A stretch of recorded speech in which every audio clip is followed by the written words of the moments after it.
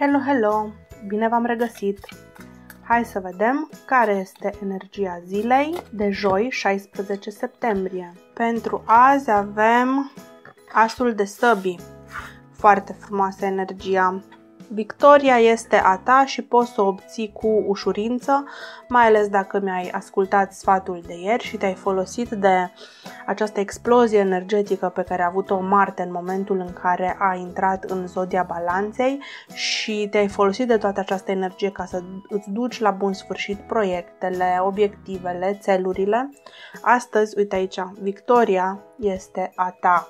Dacă în ultima vreme ai ezitat, nu ai știut ce decizie să iei, în ce direcție să o apuci.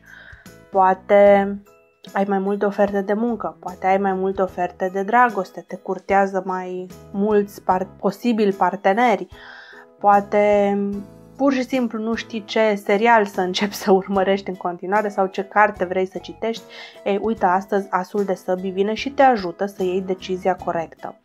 Astăzi o să avem cu toții o mai mare claritate mentală. Parcă lucrurile se așează așa foarte ordonat și reușim să vedem în spatele aparențelor, reușim să ne dăm seama ce e adevărat, ce e fals, reușim să ne dăm seama atunci când cineva ne vorbește prea mieros, prea dulce și de fapt vrea doar să ne perie ca să obțină ceva de la noi, uh, reușim să descoperim orice problemă, orice eroare, orice lucru care nu este la locul său.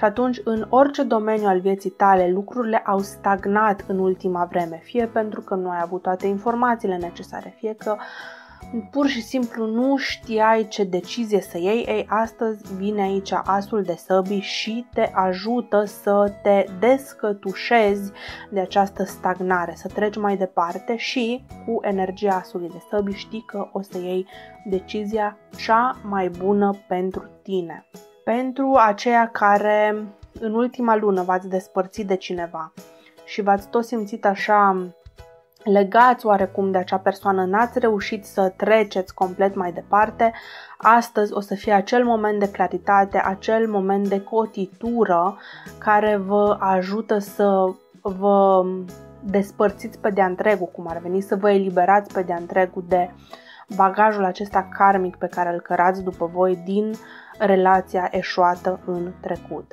Folosiți-vă de asul de săbii ca să luați decizii, ca să aflați adevărul, ca să faceți o schimbare mai mare sau mai mică în viața voastră.